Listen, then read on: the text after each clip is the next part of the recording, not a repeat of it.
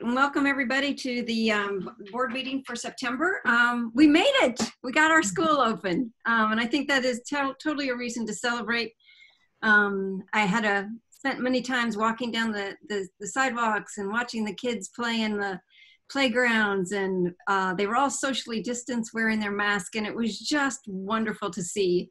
Um, to walk through our village again and hear kids talking about their days in school and what they were learning and just the excitement was just it was it was really a good week for everybody.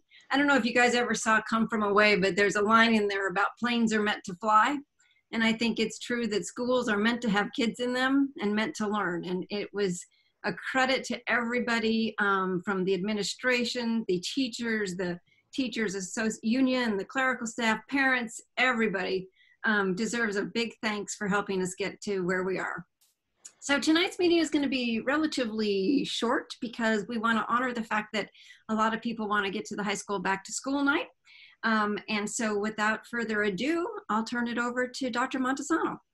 Do you want to do the um, approval of the minutes first, Arlene? Oh, sure. Sorry. In my That's excitement okay. to get through. Um, we have two sets of minutes to be approved. Do I have a motion? So move. Second. Second. Who was second? Mr. Curran? All in favor? Aye. Aye. Great, thank you. Roy, now to you. Great, thank you very much. Good evening, everybody. Um, it's certainly terrific to be here. Um, Brian, if you're still on, if you can give me uh, screen sharing rights, please, I'd appreciate that. I'd like to share my screen. Um, but um, I want to let you know that our first four days of in-person school uh, is official. And um, I can think I can do this now. Here we go. Uh, okay, hold on one sec. There you go.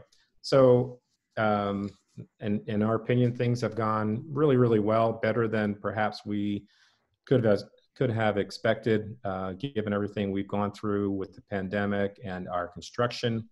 Um, big shout out and appreciation to Mike Lee and the maintenance and custodial crew for preparing our buildings, keeping things clean. Amazing how much work has been completed uh, over the past couple of weeks to really get us to a point where where we could uh, officially reopen. We know it was touch and go for a while, and it's just the transformation of our building has been just absolutely nothing short of a miracle. Um, some of our guys have really been working literally two to three weeks straight without a break uh, because they care so much about our school and our community and getting our kids back uh, into the classroom. Uh, I also want to take just a quick moment to acknowledge the work of our administrative team and our staff the amount of prep work and getting organized from new arrival dismissal procedures, temperature checks each morning, health screening follow-ups has made such a difference for us. Uh, and it's really um, able to, um, you know, the, the ease in which kids are coming into the building right now um, is just a tribute to all the planning and efforts that have gone from the administrative group. Um, so far, things be, seem to be working. We hope that continues, and the parents have been very cooperative with us so far uh, and the teachers have just been absolutely amazing. Um, many are feeling frustrated a little bit because they can't be the uh, best teaching best teacher that they know they can be due to limitations of space and kids behind shields and teachers needing needing to be on the screen for those at home as well as those um, in the classroom but um, they're adjusting and i know it's going to get better each and every day um, and finally, I want to thank the students because they've been terrific this first week. I have to tell you, and really following the guidelines, wearing their masks, adjusting to this kind of new normal thing that we call school. Um, but they've been absolutely terrific, um, and we couldn't do without their uh, without their cooperation. Um, so that first thing that you see on the screen there um, is kind of pictures from our opening day. So you'll see the elementary school was were all out on the uh, on the field uh, for for lineup, so we can get the kids in safely on that first day. They start to understand the protocols. You'll see the uh, that classroom on the right is um, the one of the um, playrooms actually in elementary school that's been transformed into a classroom. Uh, and you can see the desk shields and the spacing of the desks uh, as well, and the teacher walking around. And um, the the last picture on the bottom is um, from our lunchtime. Uh, elementary school students are having lunch outside in the front lawn. It's been great that we've had such nice weather for this first week of school. Um, and they're taking advantage taking advantage of that, um, the lawn and the spacing, uh, which has been terrific.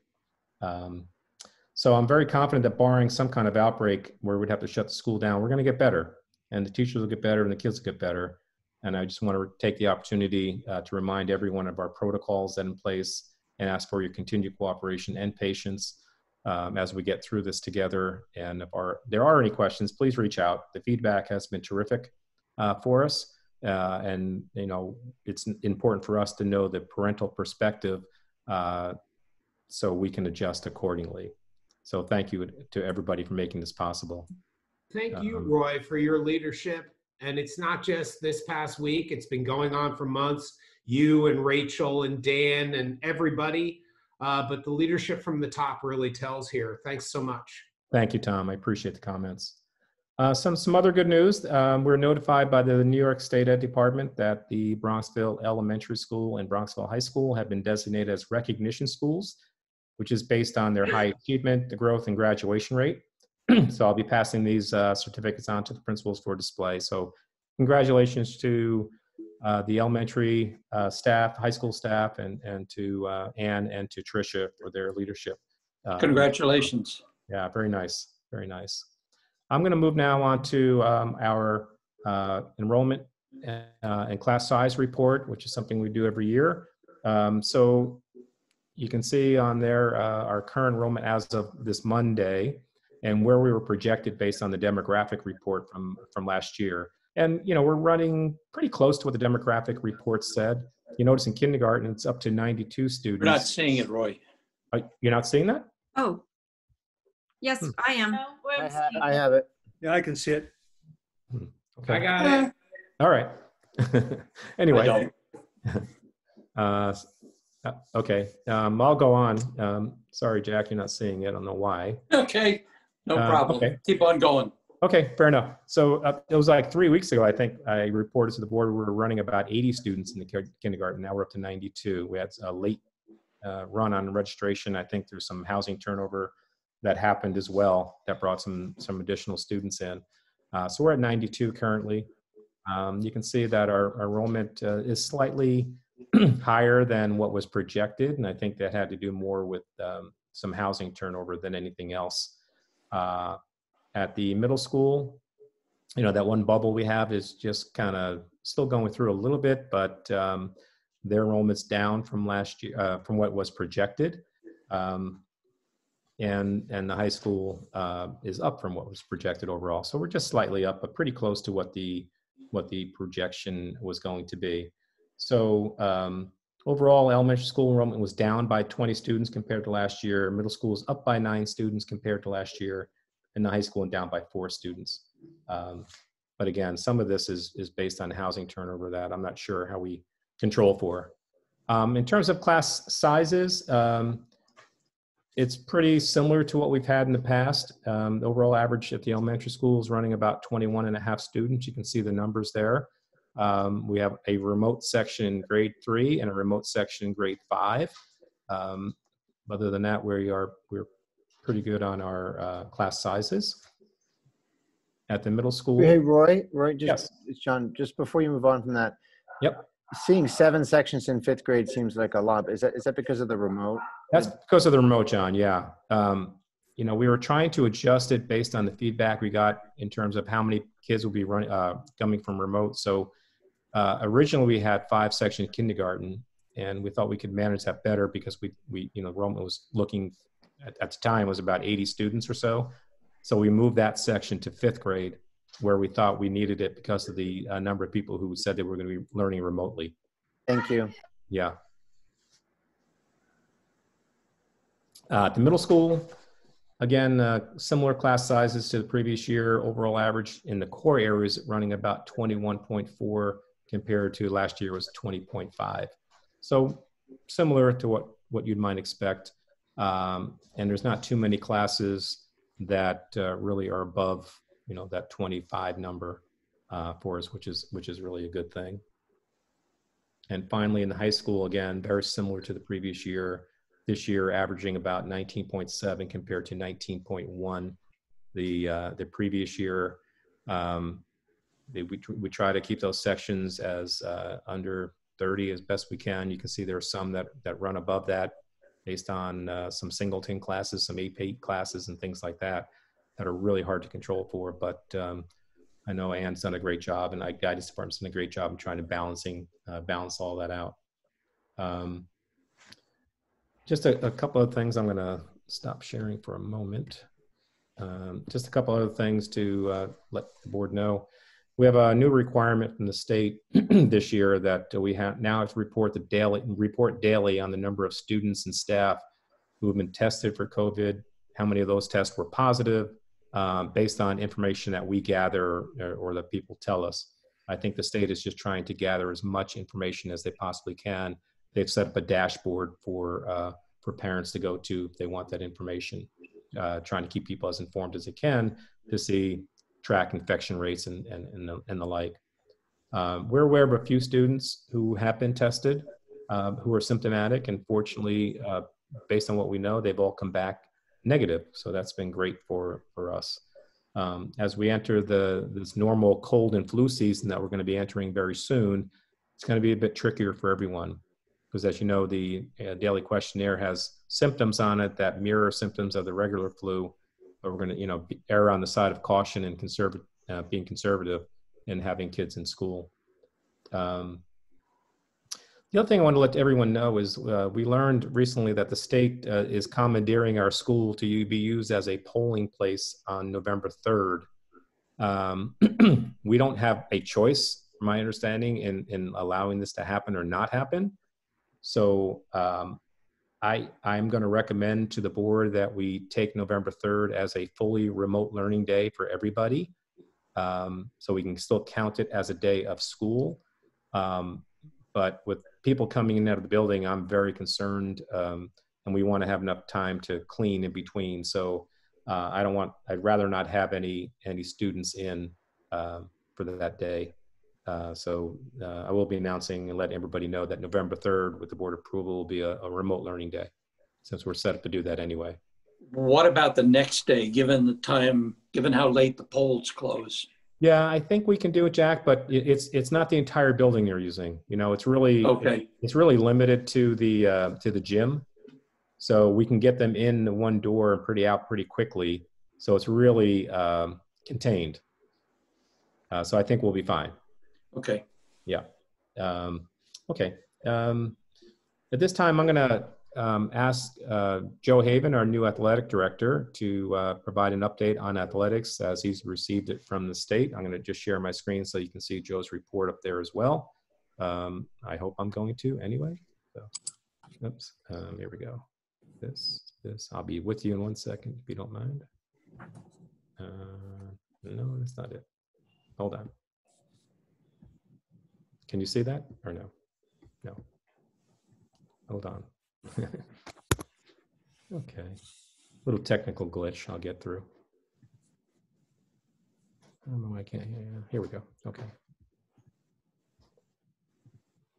Uh, okay. Joe, you're on. Good evening, everyone. Um, so as you know, the state um, finally allowed athletics uh, to begin, um, low and moderate risk sports. State Association set the date of September 21st for all low to moderate sports to begin. Um, in the fall for that for us, that's cross country, tennis, field hockey, and both soccer's boys and girls. Um, section one decided that we're not going to start until the 29th. Um, section one leadership just decided that having an extra week off um, just to make sure there's no infection rate in school where you know, obviously we're here for academics first. School is flowing smoothly. They decide to start the 29th. Um, so on, on the 29th, we will start those programs. And those are high school programs only. Um, so far, we've been given no guidance from middle school athletes, which is seventh and graders. So at this time, we've there's no modified sports included in this. So just starting will be those five high school sports. As you can see, football and field hockey, and for us, um, a couple volleyball players um, they have deemed those um, high risk uh, sports. So they're moving those back to what they're calling uh, fall session two. And fall session two will start March 1st. And just so everybody is aware, um, the governor will determine if those sports are no longer high risk. At this point, those sports are considered high risk, along with for us basketball, hockey, um, so at, in lacrosse. So at this point, as up until currently up until uh, December 30th, we cannot have those sports participate.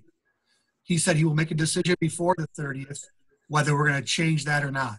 Um, so with the later start date for the 29th, what, what, what the state has done is they have moved the end date of fall sports to November 30th. Well, I should say November 29th because the winter sports are going to start November 30th. Now, sections have the right to end a week earlier if they'd like. Uh, each section will have their own choice of when they want to end the fall season, but it must be completed by the 29th of November so that the indoor sports can start on November uh, 30th. And like I said, very important to us because because of hockey and uh, basketball, um, those sports haven't been approved yet. The main reason is they're indoor sports. Um, so then our, our winter season is going to go from November 30th until the last day of February. That's a very long season.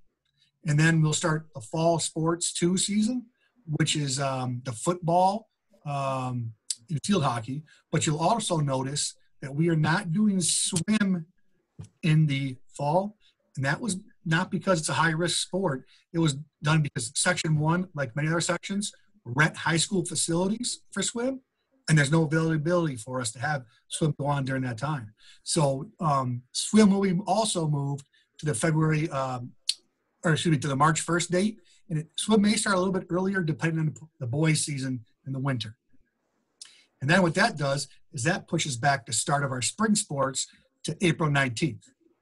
Now, I did listen to the uh, to the director of our state association speak yesterday, and one thing he said that was very interesting: if um, if the state decides there are no regions this year, they're going to try to continue the, uh, the spring season to the end of June. Obviously, if there are regions still going on, they will end it before the regions begin. They said they may take it up afterwards, but that'll be a discussion I'm sure he has with superintendents. Um, but as of right now, if there are no regions, he's going to continue the spring season um, right until the end of the, you know, until graduation.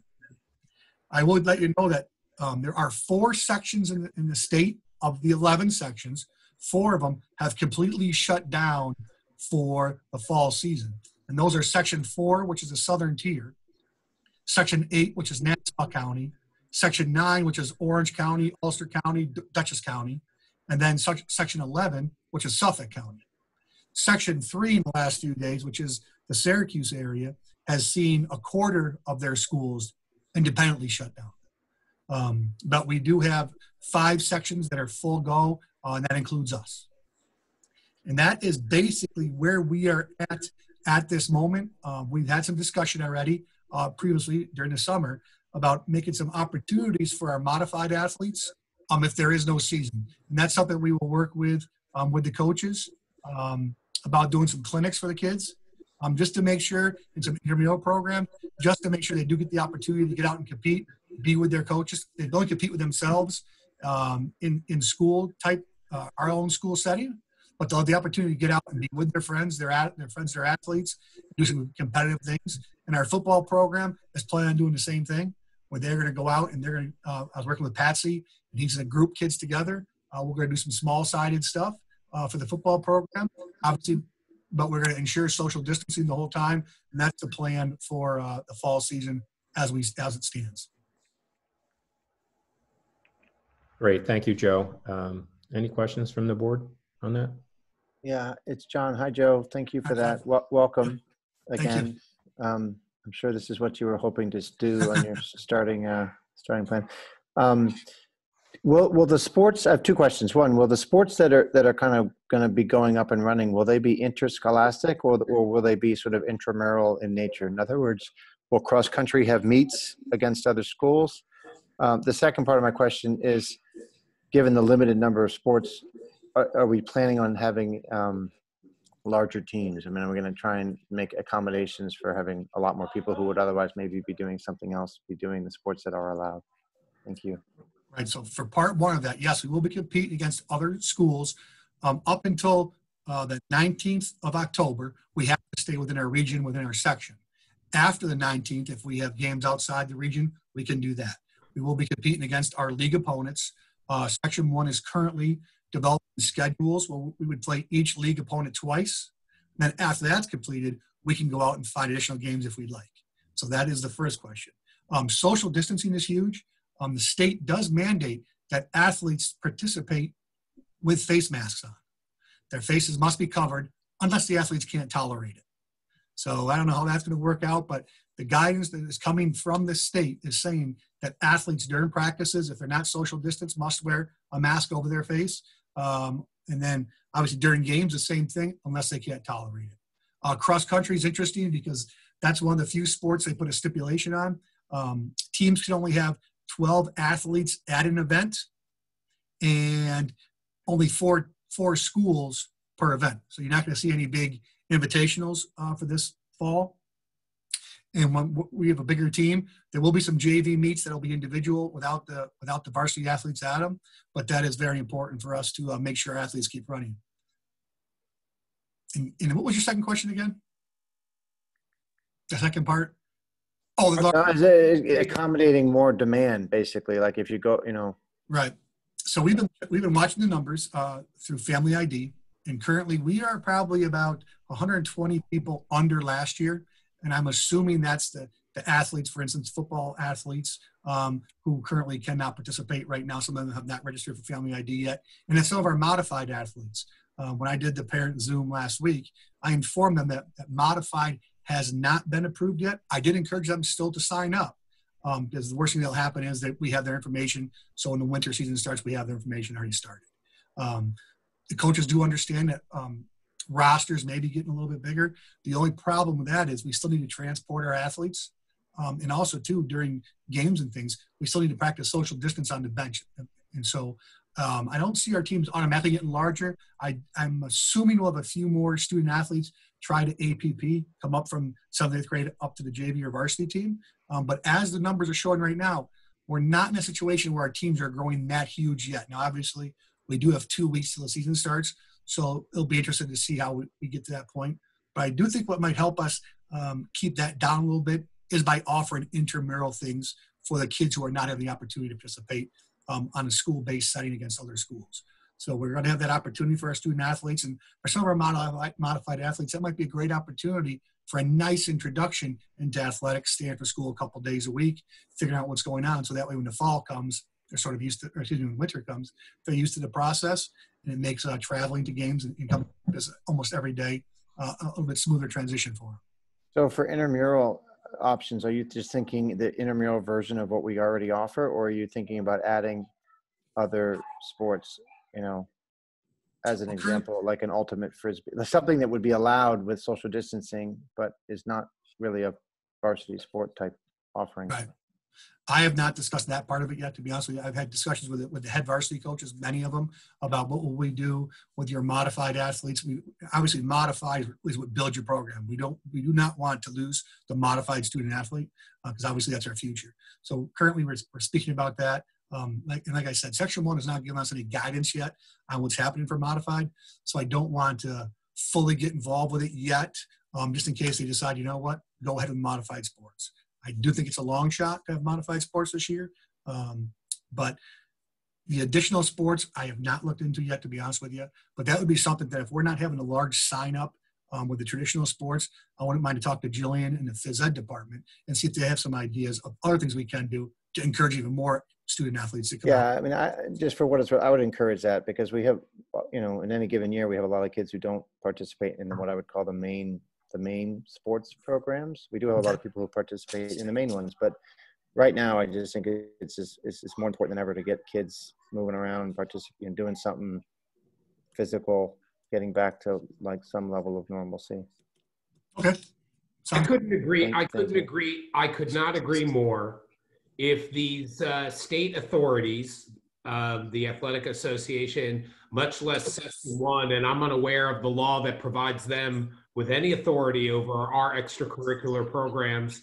And there is no marginal increased risk of spread when we're talking about our kids playing with our kids, uh, assuming we observe social uh, guidance, social guidelines as, and distancing as, as best we're able. For instance, it was my understanding that Patsy, uh, uh, the football coach, and by the way, in LOHUD, our football team is featured today as, as the state of the program. But it was my understanding that uh, once they have out, once they've ruled against or postponed um, interscholastic competition, then their authority over our intra-scholastic program ends. And our students, uh, Patsy should be able to have football practice come October 20, um, September 29th. Absolutely. It's staying in-house. Uh, I've had discussions with Patsy. We're actually going to meet about it next week, and we're going to determine, we're going to, we're going to um, plan out his season for him. I just saw some schools are going to seven on seven opportunities, and if that's an opportunity that Patsy would look into, we definitely look into that. Um, but that would be more of a type-based type opportunity for athletes but he does he is fully where to go. His staff is fully involved and interested in working with our student athletes, and that is it's it's commendable for him because uh, some you know some people have sort of uh, you know put their tail on the ground and went away saying, "Well, they're not letting us play." But Patsy and his staff is like, "Nope, what can we do to get these kids on the field?" So that's uh, that's outstanding for him to do that, and we're we're pretty excited about that happening. And it might be an opportunity to expand the appeal of football if everybody knows that it's just an intra Bronxville experience and that's, you know, while not optimal, that's the reality of the best we can offer right now. And maybe March 1st happens, some magical thing happens between now and March. But frankly, I think we look at March the same way we looked at September back in April. Absolutely. And like I said, our programs will be um, advertised open. So it's going to be an open practice football. Open means anybody can come. And, and as modified, frankly, if the people who are somehow amorphously provided with the authority to provide guidance have not provided that guidance, then they've punted, for want of a better way of putting it, on their right to provide that guidance. And we need to do the best we can for our kids. And I want these kids off Xbox and out and running around. Absolutely. I agree 100%. Thanks. Great. Thanks, Joe. The only thing I would add um, to what Joe mentioned, and this is really a shout out to the uh, Ed Foundation as well, um, the, the Bronxville School Foundation as well, is uh, you know because we're limited with spectators or potentially limited spectators when we when we're able to do interscholastic competition. Uh, the foundation last year approved a grant to purchase cameras uh, for um, Chambers Field, Hayes Field, and our main gym uh, and we're going to be working with local live to broadcast those games live so people can see them you know if they're at work or from their desk or things like that as well so hopefully that'll come to be in time um, for us to be able to do that. So yes roy we, roy we do have um, two folks from local live coming tomorrow to check out the make sure they're ready to go and they're going to start uh, installing next week. I work with mike lee and dan on that and they're getting ready to install the cameras next week. Wonderful. Thank you. Okay um, I do want to go into my next part, if that's okay. Um, and that is, again, as soon as I find it, uh, here it is. So here we go. Okay, great. So the next part of my report is really um, something that we're, we're, required to do annually, and, and that is discuss our, uh, our district emergency plans. Um, so we have a district plan and we have building plans. And just very quickly, um, we work with our uh, security consultant, uh, Altaris, to uh, prepare our plans. Um, that's what we contract our security director, Rob Lancia, through as well. And they've been a great partner for us in developing our emergency management plans. Uh, the district safety plan provides a general guidance on prevention emergency management. It's posted on our website for people to see. We do develop it uh, along with our uh, Bronxville safety team. Uh, it was finalized by the team uh, on, back in June, and then we posted it because you need to post it for 30 days for a public comment, and we'll be presenting that today, is presenting today for, for uh, board approval, which is something we're required to do. Uh, whoops, sorry. The building level plan is more specific in nature, um, providing course of action take during an emergency.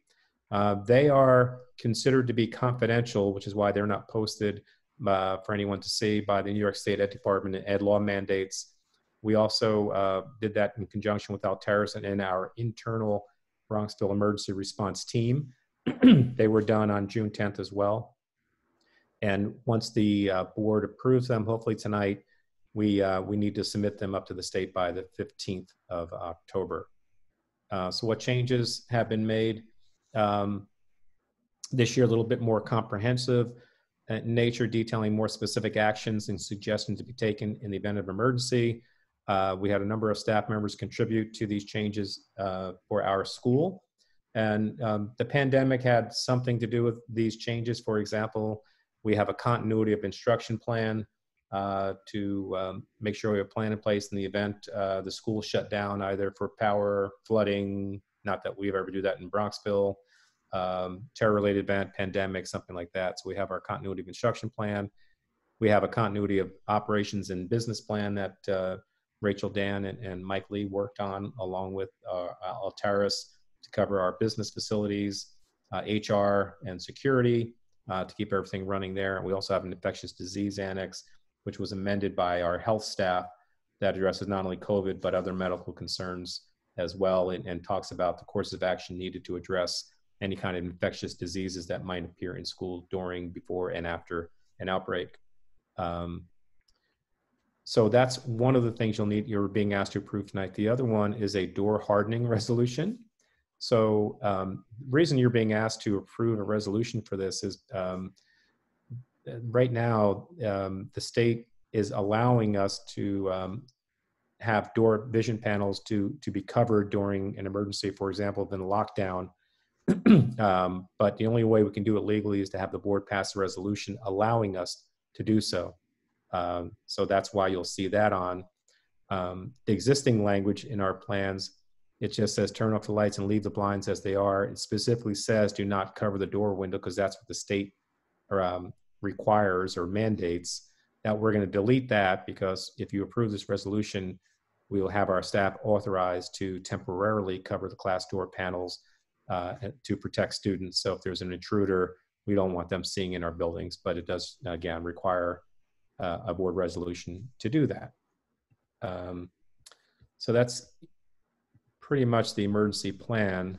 Uh, and because it's a public hearing, um, I would have to entertain any questions by the board members currently or people are in public. If there is anyone in the public who want to have a question or a comment, please put it in the chat on the YouTube channel so we can respond. So first with the board members.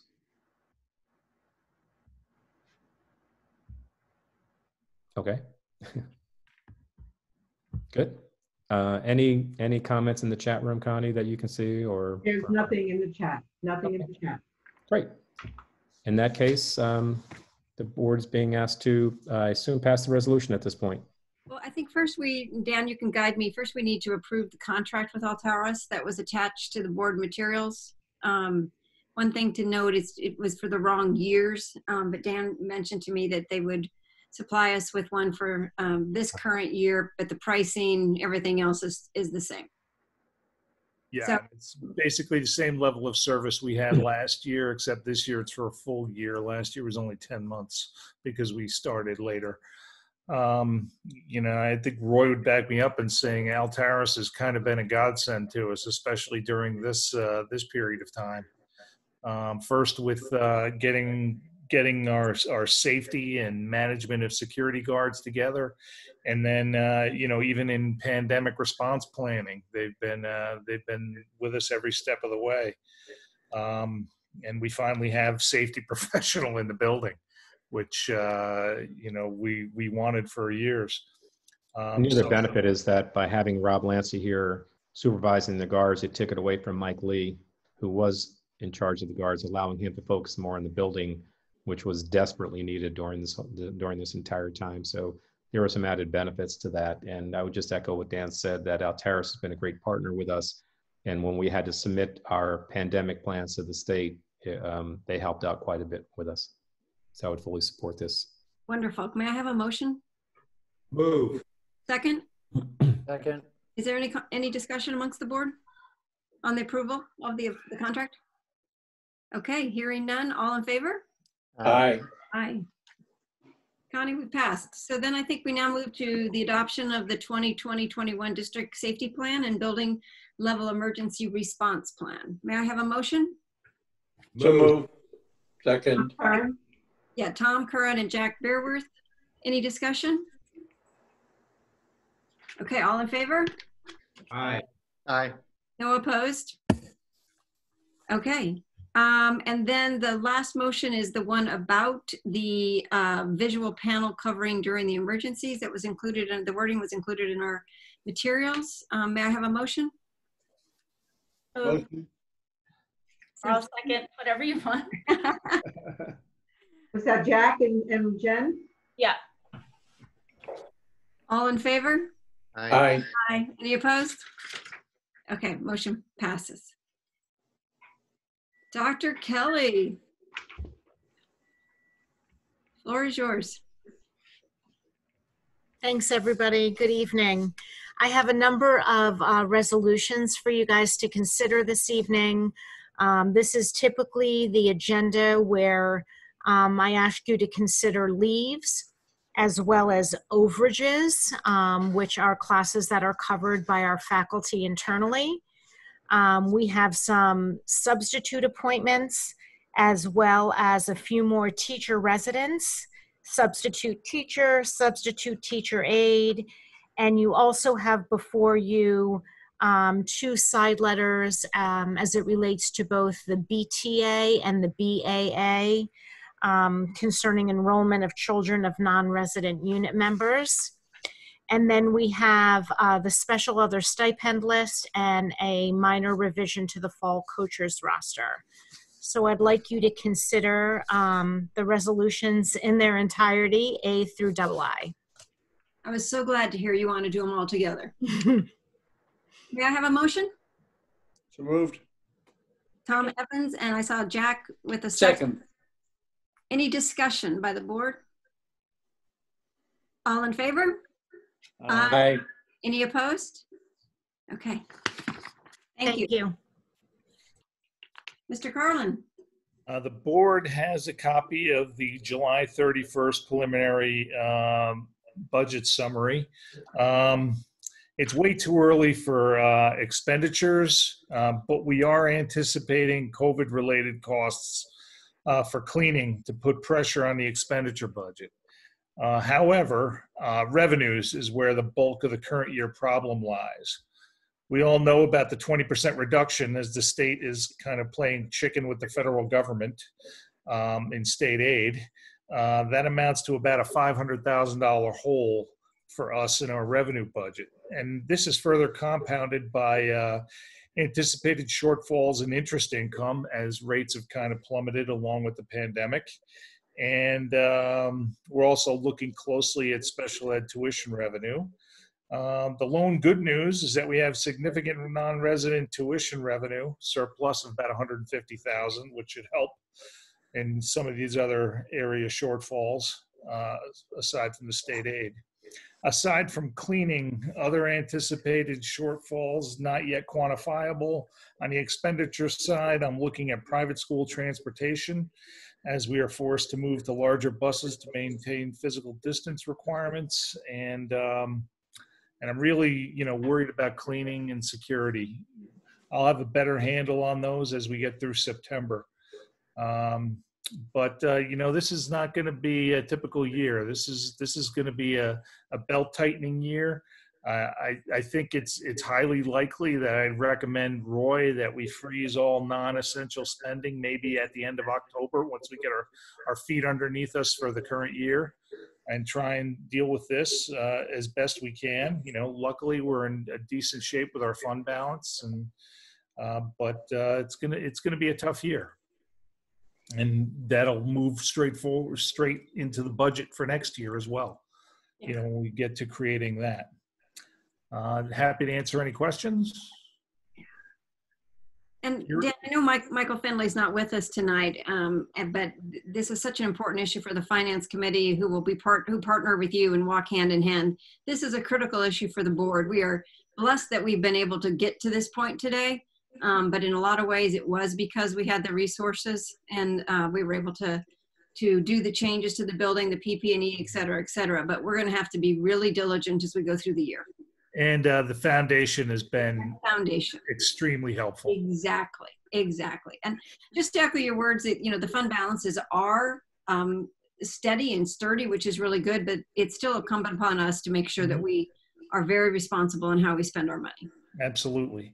And the Um, foundation, the foundation helps those who helps help themselves, right? Like last spring, leading into this, we saw that we really needed to be careful about any any expenditures that we may have been tempted to uh, to entertain at that time. Sure.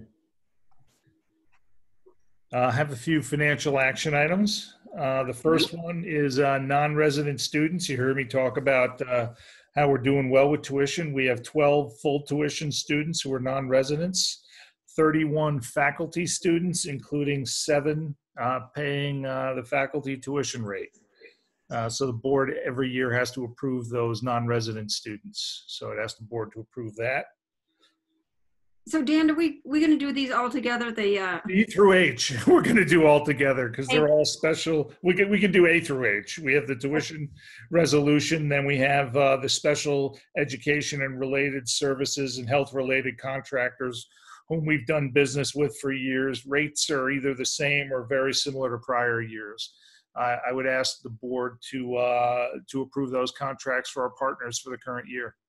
so these are all consistent with prior years. Um, I guess maybe a quick question for you, Rachel. Um, the homebound, how does that get impacted by the remote learning? Right, two separate um, situations. Homebound tutoring is specifically for children who are typically ill and can't come to school. And so we're eligible, we are responsible for continuing to educate them. So that is different from remote learning. But if I'm homebound and I'm ill, could I do remote learning? Well, now you can, yes. That's, what- yeah, that was my question. Now, I would think that, that now maybe we will not use the homebound service as much because They can just join their class conceivably. Yeah. That's right. We have an option this year that we have not had in prior years. Correct, okay. Okay, may I have a motion from the board for A through H? Move. Second. Second, any discussion or questions from the board? Okay, hearing none, all in favor? Aye. Aye. Any opposed? Great. Okay, back- My, uh, I have a three, three-line facilities update in that, um, we got school open. We're still waiting for the curtain wall for the windows and the cast, uh, precast uh, molding. That's looking towards end of October. Uh, and we'll be focusing more on, uh, the Meadow Avenue addition in the coming months. Hopefully get that done by Christmas. Uh, Financially, the project's going fairly well despite uh, the next action item, which is change orders. Um, The largest change order is a, a net $100,000 change order. It's actually two change orders, a, a credit and an expenditure uh, for removing the uh, contaminated oil tank. Um, So that would increase the, the net increase to the two NIRM contracts of about $100,000. And then a, a very small electrical change order for uh, a fixture color change uh, for a custom color that we uh, requested in the, I believe, in the cafeteria and the um, uh, Learning Commons. Okay. Dan, can we take all three together? Yes. Okay. May I have a motion to approve um, the three change orders that are listed in your agenda items? Move. Second. Any discussion from the board? Do we expect many more change orders coming? There- There's a, there's a few, I, nothing obviously this significant. Uh, we haven't seen the window change order yet, you know, for the, uh, curtain wall windows, but, you know, we're gonna do what we can to, to, uh, see if we can charge that to somebody, but, uh, that's, uh, I think about forty-six or forty-eight thousand dollars. You'll see that coming forward soon, uh, maybe, and, um, you know, we're, we still got a ways to go in the, um, oh, I think, I think there's a significant electrical change order coming. I'm not sure if that falls within the allowance or not. But, uh, you know, change order wise as a percentage of the contract, this is the lowest I've ever seen on a project so far. Dan, And you, Dan, you touched upon a topic that's important. Um, as part of the, the budget process for the capital projects, we set up allowances for the various trades that are working on the building. Uh, these change orders uh, that we're talking about tonight, are they, are they, do they fall within, are the allowances that were set up sufficient to cover these change orders um, or not? The electrical one, yes. Uh, the uh, the oil tank, no. That's in, that's going to go straight to the contingency for the project, which is still robust Okay. at this point. Well, let's keep an eye on that because we may have to make some difficult choices about necessity uh, versus desire. Uh, if we're, you know, if there's a prospect of us having to dig into our pockets here. Absolutely. Could we schedule a discussion in exec session to talk with lawyers about some of the issues that have come up? Sure. I hate talking to lawyers, Jack.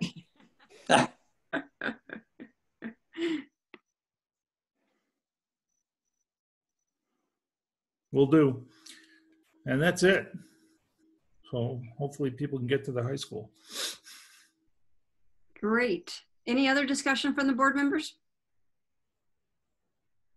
All right, having heard none, um, all in favor? Aye. Aye. Aye. Any opposed? Okay, the three motions carry. All right, um, watching the hour closely. Um, any committee reports? I'm not aware of any. Doesn't look like. Okay, so our next uh, board meeting, I think, is one of the most um, really interesting and fulfilling um, meetings. Is the long-term, long-range planning workshop on October 5th. I really would encourage people to join in on that because we look at trends in education and um, how we just maintain our high level of education, education we have in our town and also look at the important topics around you know how the pandemic has impacted social justice and things like such as that. So i think it'll be a, a great meeting.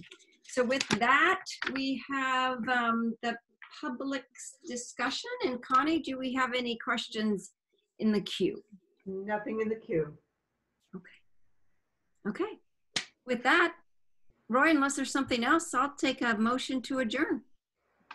So move. okay. All in favor? Aye. any opposed? No. enjoy your back to school night. Thank you. Thanks, everybody. bye bye